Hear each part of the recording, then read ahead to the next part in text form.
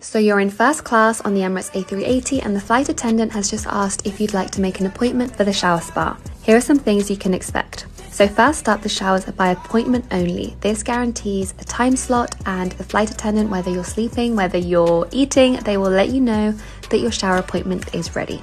This is because from the start of your appointment time, you will only get a maximum of 30 minutes in the shower spa per passenger and a total of 5 minutes of hot running water. There are two showers available on the A380, which are to be shared between a maximum of 14 first class passengers, which on a shorter flight time can be more difficult. So, our pro tip is to reserve your shower in advance as availability can be limited. The best part is you don't need to bring anything with you. Everything is provided from the fresh towels. Even a hairdryer is included in the shower spa. You'll also get toiletries such as deodorant, shampoo, conditioner, perfumes, body cream, cotton pads, razors, literally anything you might need during your shower. So if showering in the skies